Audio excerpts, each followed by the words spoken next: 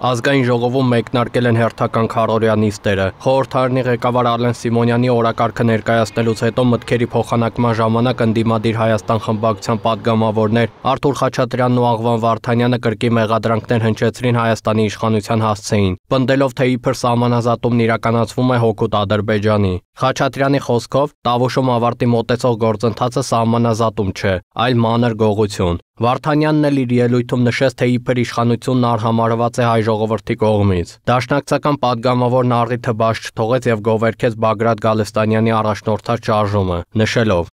Ձեզ մի խափեք։ Այս սրբազան շարժումը զուտ հայկական է։ Այն ընդլայնվելու է, մաքրելու է Հայաստանը ատելությունից, ստից, կեղծիքից, դավաճաններից, չհայերից։ Այս շարժումը նաև ձեր փրկության համար է։ Այնուհետև ելույթով հանդես եկավ քաղաքացիական պայմանագիր խմբակցության падգամավոր Վահագն Ալեքսանյանը, որը պատասխանելով ընդդիմադիր գործընկերներին հայտարարեց. 2023 թվականին կիսահայկական ազգանունով ռուսական քարաշչություն իրականացնող մեկն ասել է. Բագրատ Սրբազանը պետք է լինի վարչապետի թեկնածու։ Հիմա էլ նրա առաջնորդած շարժումը համարում եք հայկական եւ սրբազան։ Սրբազան շարժում, անունը դրել են Սրբազան շարժում, Սրբազան շարժման առաջնորդ Սրբազանը երեսնովա տալի իր աչը համբուրելը։ Էս չեք ժողովուրդ ջան։ Ինչ եք խոսում առհասարակ։ Ասում ժողովրդի կողմից արհամարված եք։ Լուրջ եք ասում, մենք ենք արհամարված ժողովրդի կողմից։ Մի հատ դուրս եկեք էլի։ Մի հատ մի օր առանց ախրանիկի բանի դուրս եկեք փողոց ժողովուրդ։ Մի հատ փորձեք։ Այնքան հետաքրքիր կլինի ձեր համար, լուրջ եմ ասում։ Մի օր դուրս եկաք մետրո, տեսանք ինչ տեղի ունեցավ որ մի օր բավելի շշուտ որ դուրս գաք ինչ տեղի կունենա։ Հայաստան խմբակցության քարտուղար Արծվիկ Մինասյանն էլ ասաց. ինչ է նշանակում սահմանի վերարտադրություն։ Սխալ է այս դեպքում օգտագործել այդ հասկացությունը։ Արձագանքելով նրան, ազգային ժողովի նախագահ Ալեն Սիմոնյանը նկատեց, որ ընդդիմադիր падգամավորը պնդում է, որ Հայաստանը սահման չունի։ Մենք ինչ որ մենք ինչ որ սահմանով անկախացել ենք, չէ՞։ Բայց եթե մենք դուք ձեր խոսքը ասացիք, ես ձեզ չընդհատեցի։ Հիմա դուք ասում եք, դուք երկրորդ խմբակցության քարտուղար ազգային ժողովի ամբիոնից հայտարարում եք, որ Հայաստանի Հանրապետությունը սահման չունի։ Հիմա որ մեր հակառակորդը գա ձեր գրասենյակի մոտ պոստ դնի, ասի Արծվիկ Մինասյանը ասելա սահման չկա, այդ վաղ ինչ եք ասել։ Հետևեք, հետևեք, հետևեք ձեր բառապաշարին։ Հայաստանը ունի կոնկրետ հստակ սահման, սահման իրավական իրավական հիմքերով։ Շնորհակալություն։ Քաղաքացիական պայմանագիր խմբակցության ղեկավար Հայկ Կոնջորյանն էլ ամբիոնից արձանագրեց, որ ընդդիմադիրները զբաղված են պարզագույն ստախոսությամբ։ Իշխող ուժի ներկայացուցիչը դիմելով ընդդիմադիրներին շեշտեց. Հայաստանում փորձում եք գեներացնել քաղաքական հեթանոց շարժում, որ เป զի վերադարձնեք քաղաքական գողապետությունը։ Հարգելի գործընկերներ, դուք քաղաքական հեթանոսներ եք Գիտեք ինչու, որովհետև Հայաստանում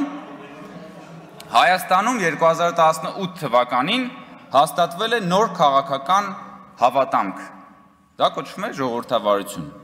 Կոնջորյանը նաև հավելեց. դուք այն աստիճանի քաղաքականապես սնանկ եք, որ քաղաքական տեքստ եւ տեսլական գեներացնելու անկարողությունից դրթված հոգեվորականի սքեմի ներքո փորձում եք Հայաստանում քաղաքական իշխանություն զավթել, բայց վերադարձն անցյալին անհնար է։ Թեժ քննարկմանը հաջորդեց օրակարգի հաստատումը, որից հետո խորհրդարանը 1 րոպե լրությամբ հարգեց ուղաթիռի վթարի հետևանքով զոհված Իրանի Իսլամական Հանրապետության նախագահ Էբրահիմ Ռայիսիի եւ նրա պատվիրակության անդամների հիշատակը։ Առաջարկում եմ 1 րոպե լրությամբ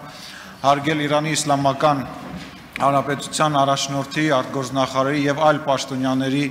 հետ տեղի ունեցած դժբախտության հետ կապված իրադարձություն։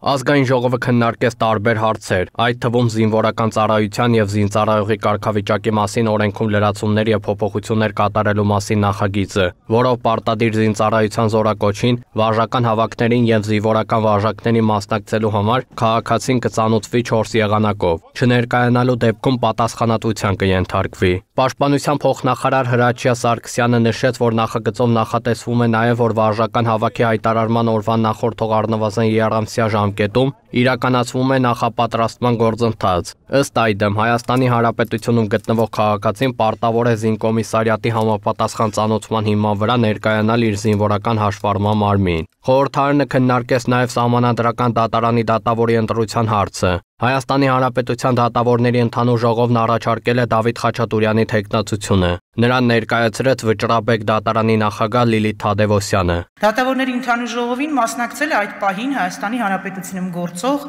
311 դատավորներից 267-ը։ Որպես համանդրական դատարանի դատավորի թեկնածու ինքնառաջադրման եղանակով իրենց թեկնածությունն են առաջադրել Վճռաբեկ դատարանի քրեական պալատի դատավոր Դավիթ Խաչատուրյանը եւ Վերաքնիչ քրեական դատարանի դատավոր Արսեն Նիկողոսյանը։ Ընտրությունն իրականացվել է գախնի քվեարկությամբ, որի արդյունքում ձայները բաշխվել են հետևյալ կերպ։ Դավիթ Խաչատուրյանի տեխնացությանը կողմ է քվեարկել 131 դատավոր, Արսեն Նիկողոսյանի տեխնացությանը կողմ 126 դատավոր։ Խորհրդարանը աշխատանքը կշարունակի մայիսի 22-ին։ Նարեկ Արոշանյան, Տիգրան Ղազարյան, Free News, Ազատ լուրեր։